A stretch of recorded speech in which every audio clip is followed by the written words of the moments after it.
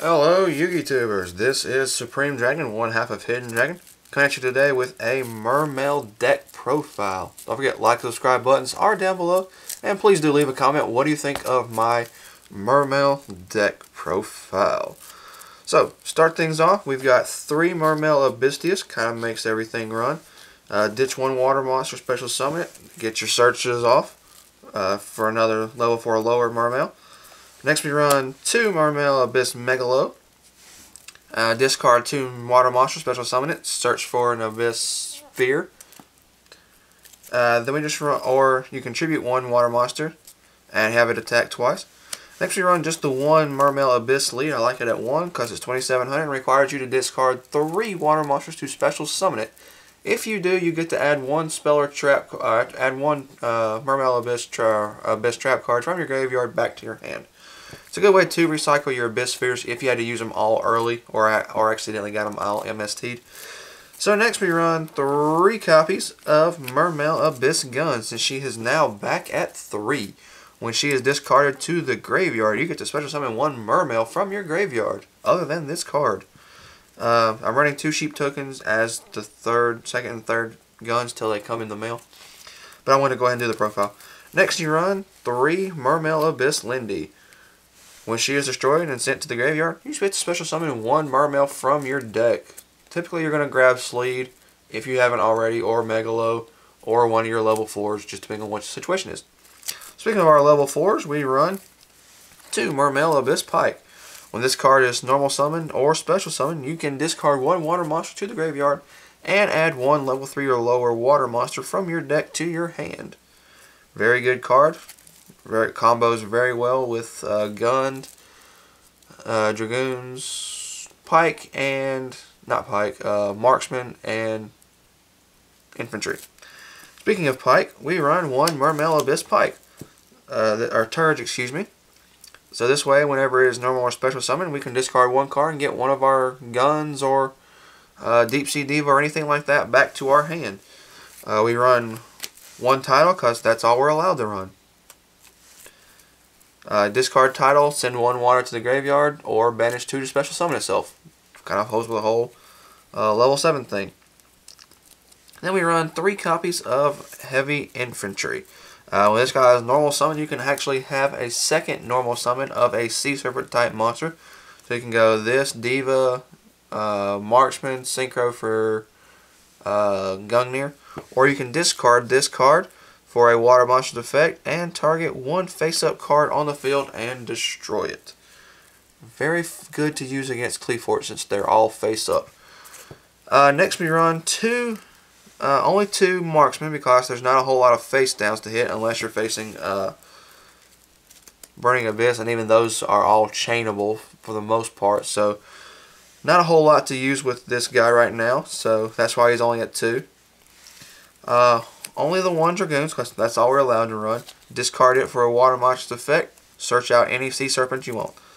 Typically you're going to go grab, or you're typically I'm going to go grab Deep Sea Diva if it's not already in my hand. Uh, Deep Sea Diva, when she's uh, normal summon, special summon a level 3 or lower water monster from your deck to the field. Oh, excuse me, Sea Serpent, Sea Serpent type monster, not water, just Sea Serpent. Uh, run one Dragon Ice. This is very uh, good to use. If your opponent uh, special summons a monster, discard a water monster, special summon itself. It can also be activated by from the graveyard by discarding a water monster as well. Next we run one Debris Dragon. Um, reason for the Debris Dragon is to go into Star Eater. Also helps off with some other synchro plays, so it's really fun to run at one. Uh, one Level Eater that's all you really need. Uh, helps with other synchro plays, level manipulation, that sort of thing. One glow up bulb because, you know, the plant engine is always fun to run. Uh, also helps with synchro plays. Makes a lot of quick plays, as you saw in my other video. Uh, how to summon Quasar with five cards. This card comes into play.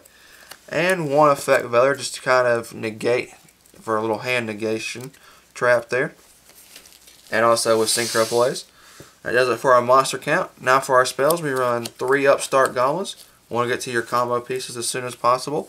Doesn't matter giving your opponent the extra thousand life points anymore. Uh, three copies of MST. Got to take care of that vanity's empty. Got to take care of that vanity's emptiness, and any other problematic uh, spell and trap cards on the field. Uh, the one one for one, like I said, it helps out with the synchro plays and gets certain pieces onto the field, off the field. Uh, one Raigeki to clear the field. One soul charge just in case you know you need it. And our traps, the three Abyss Spheres. Activate it. Search out your Abysslinde. Of the turn, or your opponent's turn.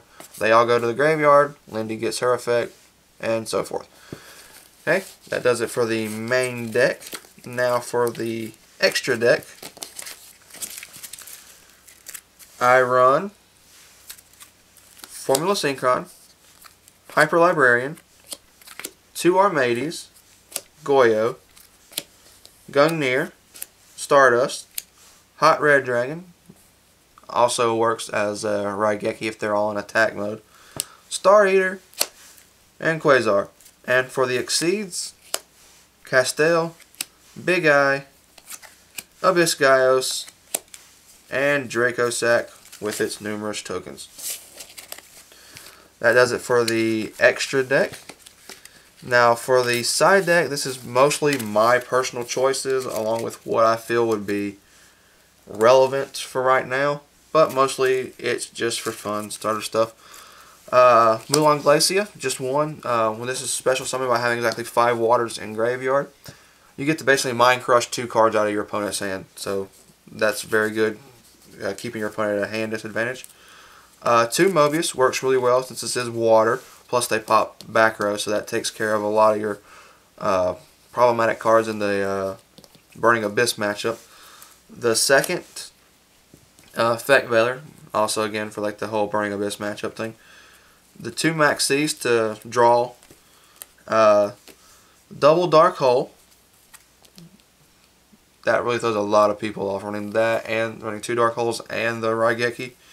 Uh, two Mind Crush, probably one of the best trap cards right now that you could run.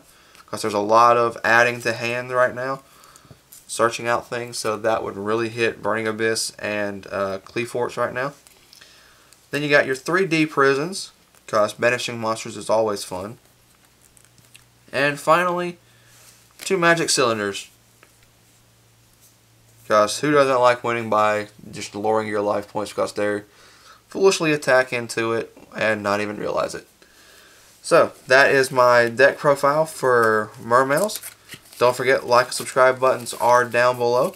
Don't forget to leave a comment with what you think of the, uh, or my Mermail uh, deck profile. And this is Supreme Dragon, signing out.